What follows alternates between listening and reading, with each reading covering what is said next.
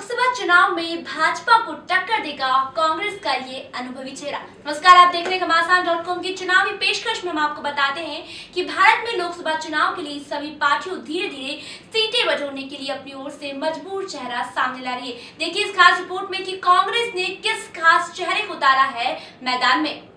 भारत में लोकसभा चुनाव के लिए सभी पार्टियाँ धीरे धीरे सीटें बटोरने के लिए अपनी ओर से मज़बूत चेहरा सामने ला रही है। कांग्रेस ने बारामती सीट के लिए सुप्रिया सुले को टिकट दिया है। सुप्रिया राजनीति का एक मज़बूत और अनुभवी चेहरा है। सांसद में सुप्रिया सुले का छियानवे फ़ीसदी उपस्थिति के साथ प्रदर्शन काफ़ी शानदार माना जाता है।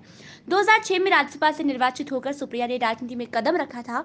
वे 2009 में पहली बार लोकसभा चुनाव में खड़े होकर जीत हासिल की, जिसमें उन्होंने भाजपा की कांता नलवाड़े को वोट के भारी अंतर से पछाड़ा था। सुप्रिया असरदार कैंपेन चलाया था। अपने नेतृत्व में सूले ने 2012 में राष्ट्रवादी युवती कांग्रेस विंग भी बनाई, जिसका उद्देश्य युवा लड़कियों को राजनीति के लिए तैयार करना था। अब तक के अपने सांसद काल में इन्होंने 142 बहस में भाग लेकर ग्यारह प्रश्न पूछे। प्राइवेट मेंबर्स बिल लाने में इनका कोई सानी नहीं रहा। अब तक वह 22 बिल लेकर आ चुकी है। वे दूसरी बार बारामती सीट से खड़ी हुई है। सुप्रिया महाराष्ट्र की पूर्व मुख्यमंत्री शरद पवार की इकलौती बेटी है। उन्होंने पुणे के सन कोलंबस स्कूल से बारहवीं तक पढ़ाई की और उसके बाद यहीं के कॉलेज में माइक्रोबायोलॉजी में बीएससी किया।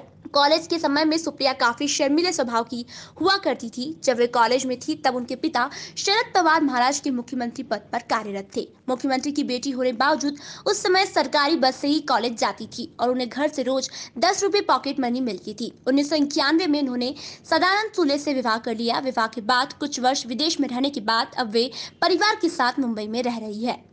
Subscribe our channel and press the bell icon for more updates.